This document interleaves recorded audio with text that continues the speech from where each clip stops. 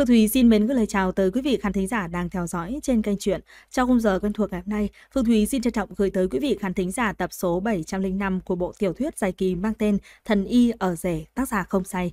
Các bạn nhớ like và subscribe để ủng hộ kênh truyện cũng như là nhấn chuông để nhận thông báo mới nhất về các bộ truyện hay được phát đều đặn trên kênh truyện bộ audio các ngày trong tuần. Chúc các bạn nghe truyện vui vẻ.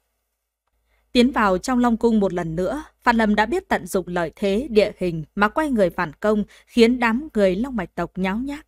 Ngọn lửa cuồng nộ như một cơn sóng lớn nuốt chừng đám Long Mạch tộc nhân. Chạy, chạy mau, nóng quá, cứu với, cứu với. Long Mạch tộc nhân hoảng hốt sợ hãi, kêu gào, có người bị đốt cháy, trong nháy mắt bị ngọn lửa nuốt chừng, điên cuồng lăn lộn trên mặt đất. Nhưng lăn mấy vòng liền biến thành cho bụi. Một vài người thì trực tiếp chìm trong làn sóng lửa, sau đó biến mất như thể đã bị bốc hơi hoàn toàn khỏi nhân gian. Những người còn lại bỏ chạy tứ tán giống như là chim sợ cảnh cong. Phản lầm phía trước, cả người biến thành biển lửa, không ai dám tới gần.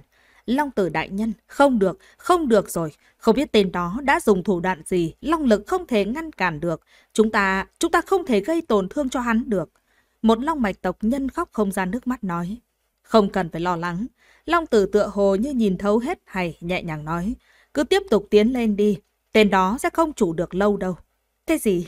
Về mặt của đám người Long Mạch đều kinh ngạc. Tưởng mình nghe nhầm. Nếu ta không nhầm, thì sức mạnh của Long Tâm chính là nguồn năng lượng duy trì hoạt động của toàn bộ Long Điện.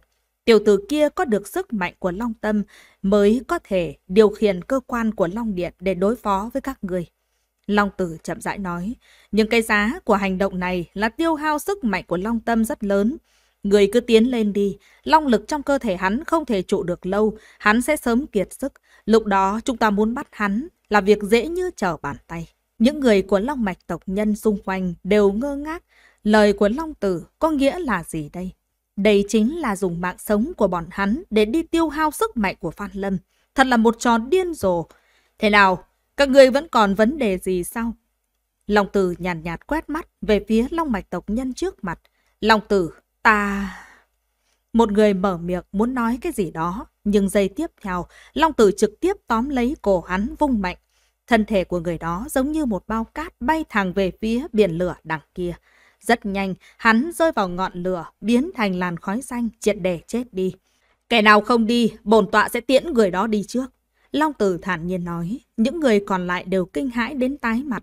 Lúc này sao dám chống cự nữa, tự mình tiến lên, còn hơn là bị ném qua. Ít nhất, bọn họ còn có thời gian để tự vệ.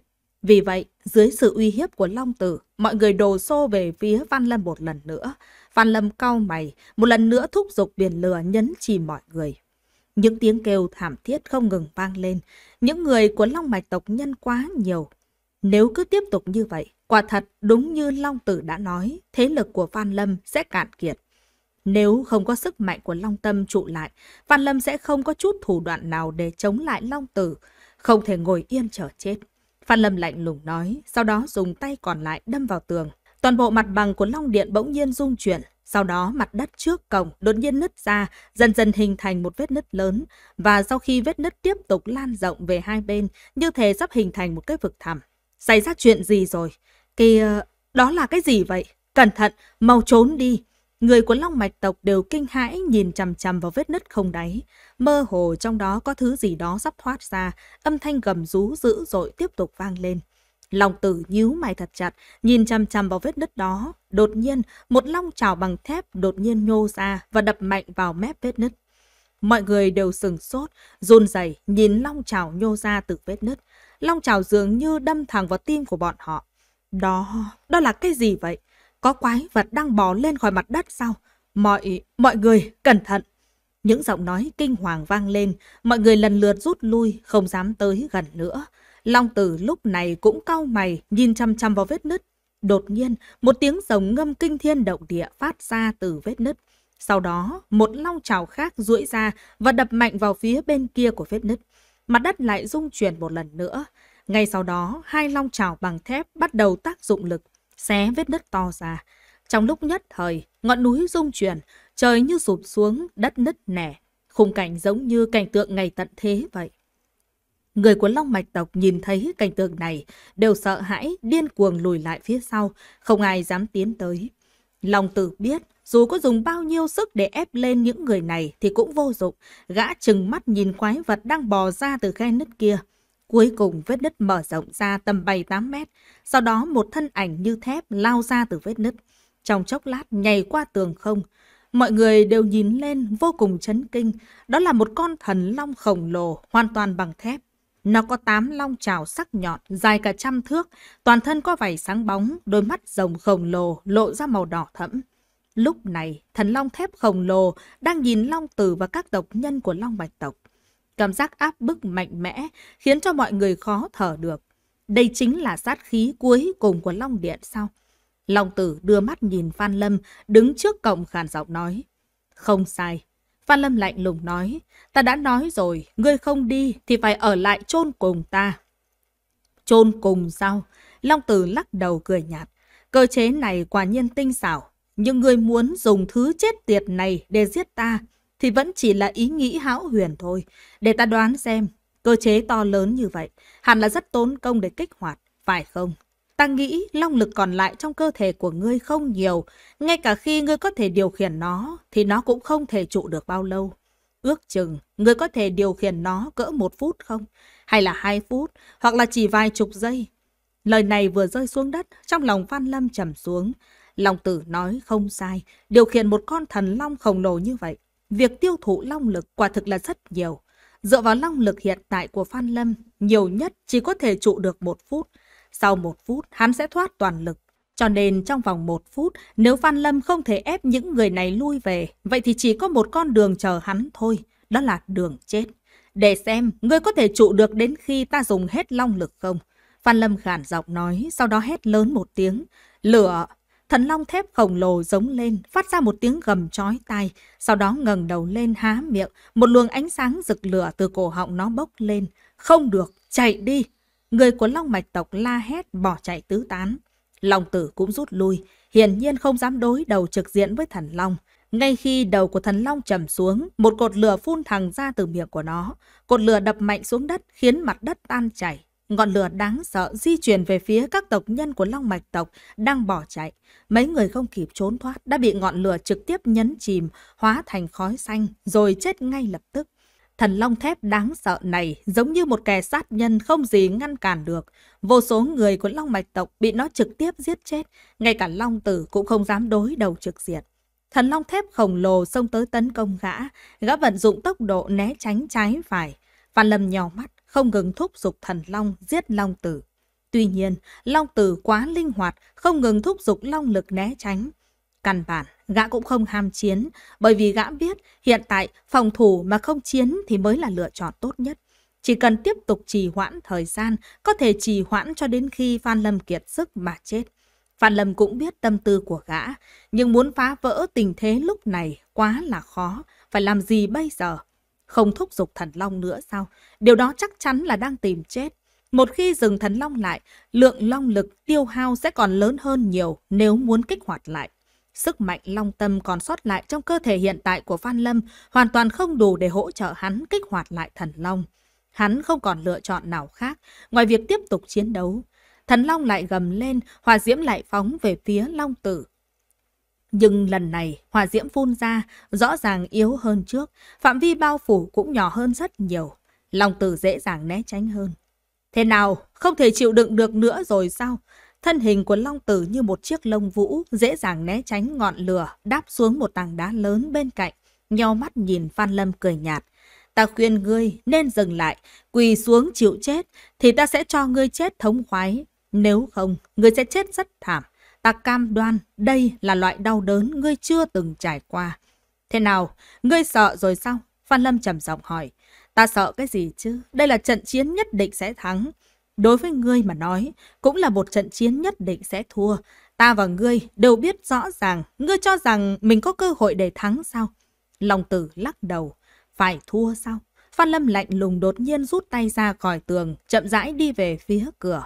Điều gì khiến ngươi tự tin như vậy? Điều gì khiến ngươi nghĩ mình sẽ thắng? Ngươi nghĩ rằng khả năng của ta chỉ giới hạn ở việc này thôi sao? Thế nào, Long tử cao mày không lên tiếng, gã thực sự không biết Phan Lâm còn có thể làm gì nữa. Dù sao bây giờ Phan Lâm đã như nỏ mạnh hết đà rồi, không thể tiếp tục tiêu thụ long lực, nhiều nhất 30 giây. Hắn sẽ kiệt sức mà ngã xuống đất. Hắn lật ngược thế cờ như thế nào cho được đây? Lúc này, thần long gầm lên một tiếng thê lương, sau đó một thân hình khổng lồ lao về phía văn Lâm. Long tử nhìn chăm chú, thân hình đáng sợ của thần long nặng nề đáp xuống bên cạnh Phan Lâm. Thân rồng khổng lồ cuộn tròn, bao bọc Phan Lâm ở giữa. Sức mạnh long tâm trên đó đang nhanh chóng tiêu tan. Đôi mắt rồng khổng lồ cũng dần mờ đi. Rõ ràng Phan Lâm đã ngừng truyền long lực cho nó. Kiệt sức sao? Khóe miệng của Long Tử nhếch lên, chuẩn bị tiến tới đối phó Phan Lâm. Nhưng lòng bàn chân vừa nhấc lên lại đặt xuống. Gã nhìn thấy Phan Lâm đột nhiên leo lên thân của thần Long.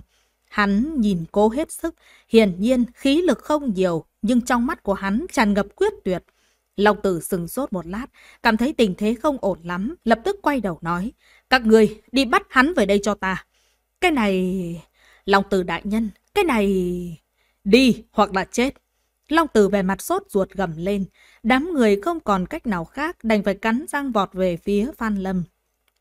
Đám người bị Long tử bức bách, chỉ có thể lựa chọn cố gắng. Lúc này, Phan Lâm có vẻ kiệt sức, nhưng động tác của hắn vẫn không hề suy giảm. Hắn dẫm lên thân rồng, lạnh lùng nhìn tộc nhân Long Mạch đang đến gần.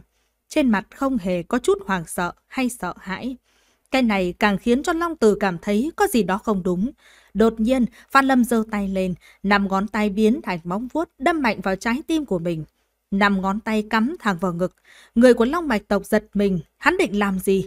Tự, tự sát sao?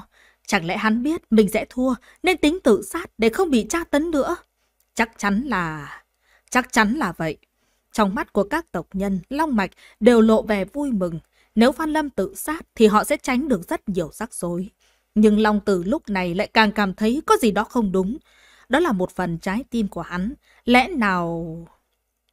Hồ hấp của Long Tử ngưng trệ, toàn thân như muốn nổ tung, kêu thảm thiết. Mau, giết, giết, giết chết hắn đi, đi giết hắn. Mọi người của Long Mạch tộc giật mình kinh ngạc nhìn Long Tử, nhưng chỉ thấy Long Tử lúc này cũng không hề do dự mà trực tiếp lao tới. Mọi người không biết phải làm sao. Vì sao đột nhiên Long Tử đại nhân lại phá vỡ phòng ngự rồi? Chẳng lẽ nam nhân này đang làm chuyện gì đó chấn động trời đất hay sao? Long Tử, như ta đã nói, ngươi tiếp tục đấu với ta. Ngươi chỉ có một con đường là chôn cùng ta. Ai nói cho ngươi biết, ván này ngươi sẽ thắng. Ta nói cho ngươi biết, ván này người thắng chỉ có ta. Nói rồi Phan Lâm bỗng nhiên kéo một cái. Toàn bộ thịt trên ngực hắn đều bị xé toạc ra, trái tim đang đập của hắn cũng bị kéo ra.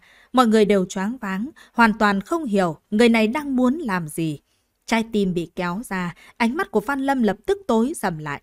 Nhưng hắn không chết, máu phun ra từ miệng, thân thể loạn choạng từng chút, từng chút một quỳ xuống.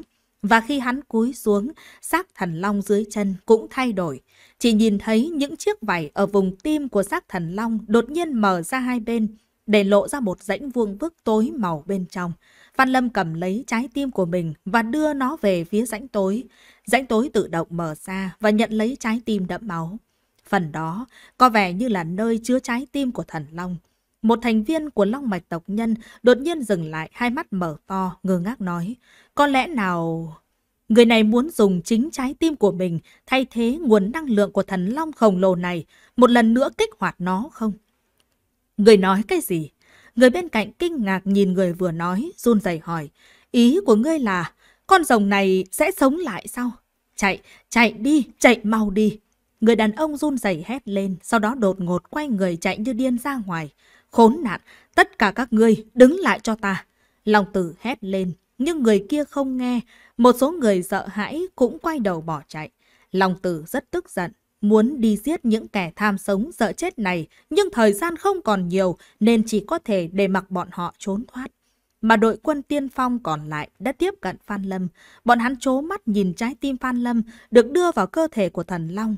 Nhìn cơ thể Phan Lâm từ từ rơi xuống trên xác thần Long, chặt đầu hắn xuống đi. Một người gầm lên lao về phía xác của Phan Lâm đang nằm trên mặt đất. Một sát khí đáng sợ quét qua. Nhưng vào lúc người này tới gần Phan Lâm, thì một long trào bất ngờ tấn công, khiến cho người đàn ông biến thành xương máu ngay lập tức. Thế nhân một lần nữa chấn động. Nhìn xương máu động lại trên long trào, da đầu của mọi người tê dại, đầu óc trống rỗng. Long tử cũng đột ngột dừng lại, nhìn chăm chăm vào long trào kia. chỉ thấy long trào từ từ hạ xuống, một long uy vô tận quét ra bốn phía.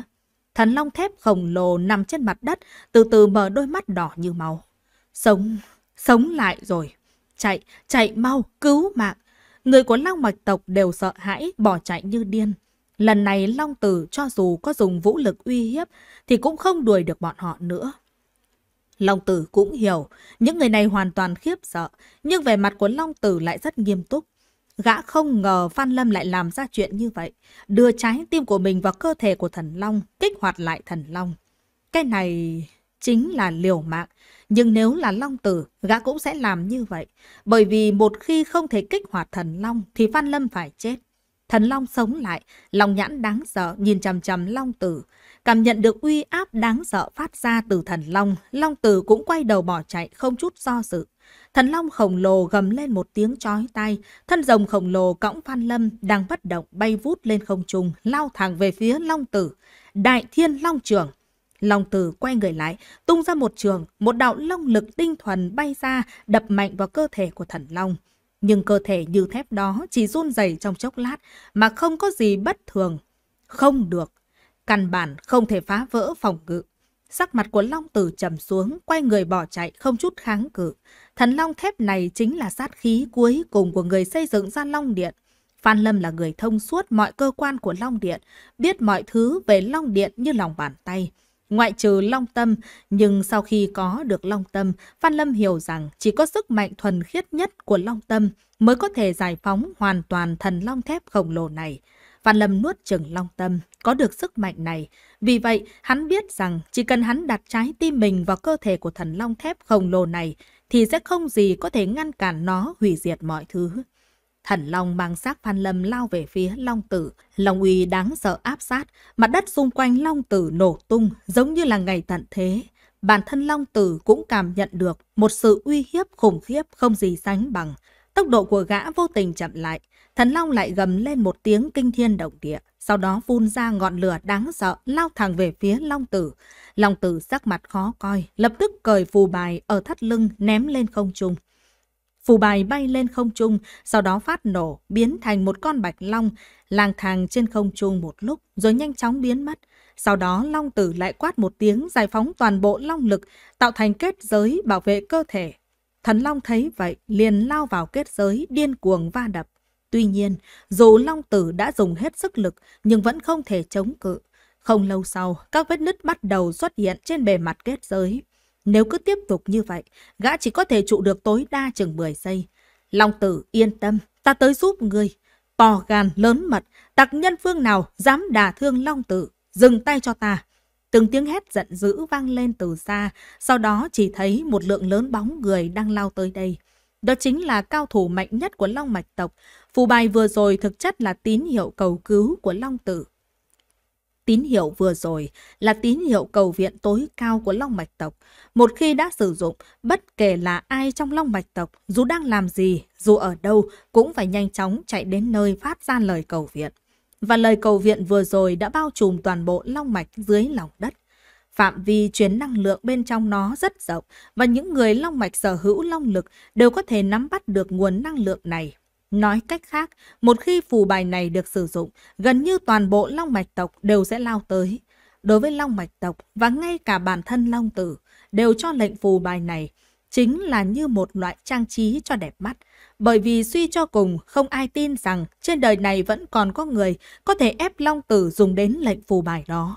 Trong mắt họ, long tử giống như một vị thần, mà làm thế nào một người như vậy lại cần đến cầu viện chứ?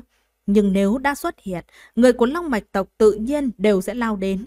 Nhưng họ hoàn toàn quên mất một điều rằng, hay đúng hơn là họ không quan tâm đến một điều. Nếu đó là người có thể ép Long Tử sử dụng đến lệnh phù bài, thì người đó hẳn là đáng sợ biết bao. Kỳ thực, trong mắt Long Mạch tộc, kiêu ngạo, dù đối thủ có mạnh đến đâu, khi toàn bộ tộc xuất quân, ngay cả thần linh cũng không cần phải sợ. Vì vậy, họ không hề sợ hãi mà liều lĩnh lao tới đây, muốn bảo vệ vị thần của Long Mạch tộc, muốn thể hiện tài năng và thể hiện lòng trung thành của mình trước mặt Long Tử. Một nhóm người Long Mạch đến trước, họ là những người phụ trách vùng Bình Nguyên, Long Mạch ở phía Nam. Nhìn thấy Long Tử lui về hướng này, mọi người lập tức lấy lại tinh thần, mau che chở cho Long Tử. Long mạch trưởng lão lập tức hét lên. Người phía sau nhất trí rút ra vũ khí, xuất ra long lực và bắt đầu giàn trận. Nhưng giây tiếp theo, người kia chết lặng. Một thần long thép khổng lồ đáng sợ lao về phía trước. Áp lực vô tận, trực tiếp khiến mặt đất hai bên đổ tung. Nhìn con rồng dũng mãnh và mạnh mẽ khác thường, đầu óc của tất cả mọi người đều trống rỗng. Long trào không chút khách khí giết chết những người này.